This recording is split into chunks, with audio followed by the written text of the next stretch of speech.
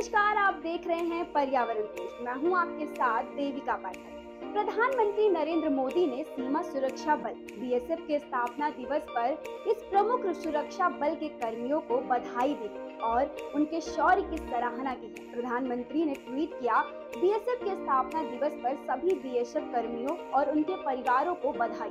ये एक ऐसा सुरक्षा बल है जिसका भारत की रक्षा करने और पूरी लगन के साथ हमारे राष्ट्र की सेवा करने का उत्कृष्ट इतिहास रहा है। मैं प्राकृतिक आपदाओं जैसी चुनौतीपूर्ण परिस्थितियों के दौरान बीएसएफ द्वारा किए जाने नेक कार्यों के लिए उनकी सराहना करता हूँ।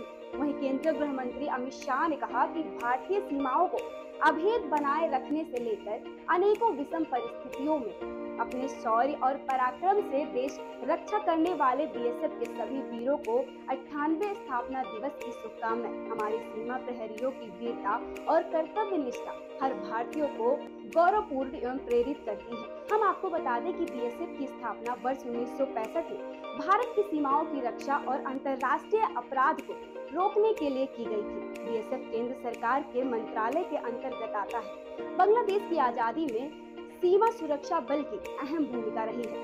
ऐसे ही तमाम खबरों को जानने के लिए देखते रहिए पर्यावरण पोस्ट।